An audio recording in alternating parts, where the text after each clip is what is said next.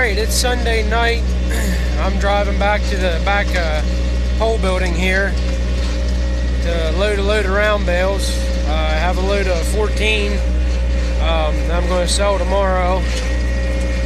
It's about 8.30 and I'm driving back here to go ahead and load them and I'm taking uh, taking the truck and trailer and a load of hay with me in the morning when I go to work and then uh, tomorrow night I'm going to uh, take it to be delivered.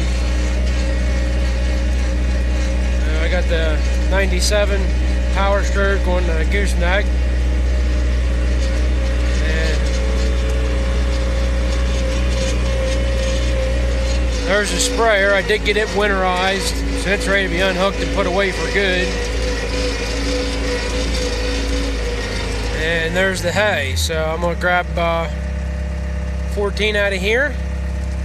Stack three high here in the pole building. I'm gonna grab 14, get them loaded. Uh, throw the straps over and take it with me in the morning. Uh, that's what's going on tonight.